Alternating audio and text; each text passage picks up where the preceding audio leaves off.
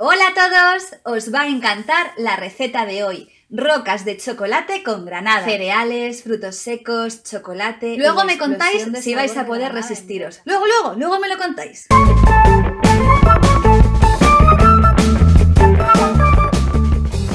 Hemos preparado con granada esta deliciosa ensalada.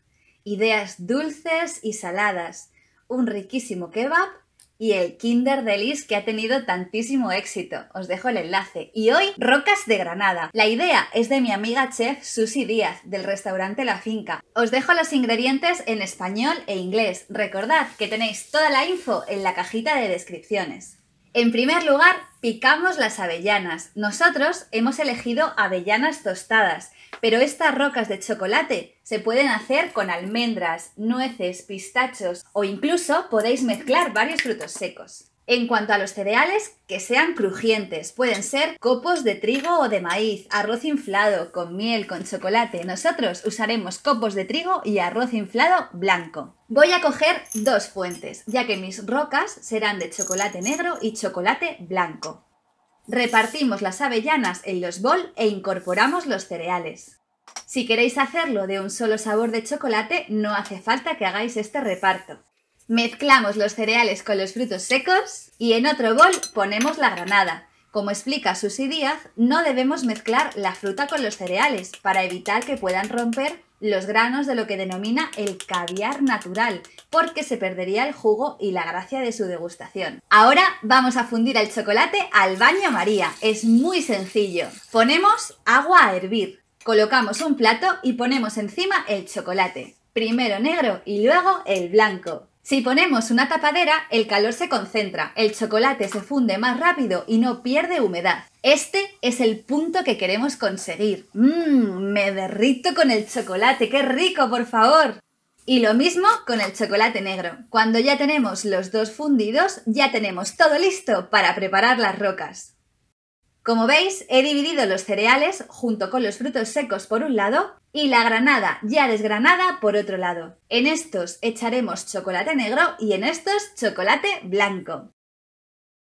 Vertemos la cantidad de chocolate fundido necesario para bañar la granada en su bol y el resto en el que contiene los cereales y los frutos secos. Mezclamos bien y con cuidado de no romper la granada.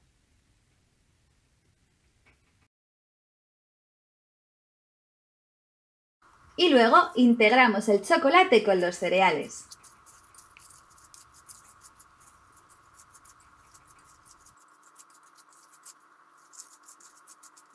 Ahora vais a necesitar una bandeja grande o superficie plana que podáis meter en el frigo.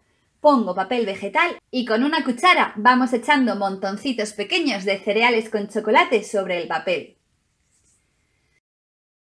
Tenemos que aprovechar a prepararlo cuando el chocolate aún está caliente, porque si se enfría será más difícil de trabajar.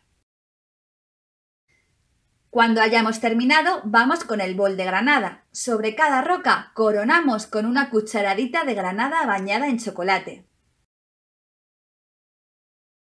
Si tenéis palos de madera, podéis ensartar una brocheta pequeña y presentar las rocas como piruletas. Esta es una idea chulísima.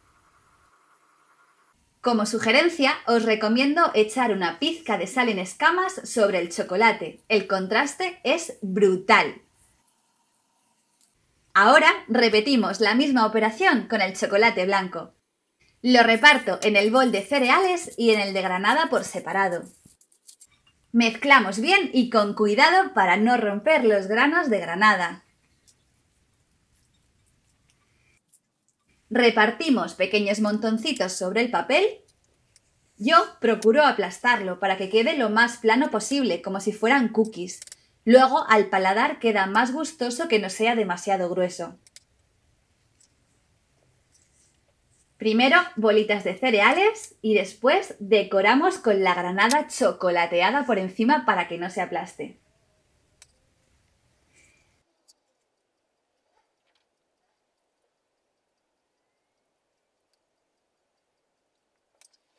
Voy a hacer un par de piruletas también y dejamos enfriar hasta que el chocolate se haya endurecido.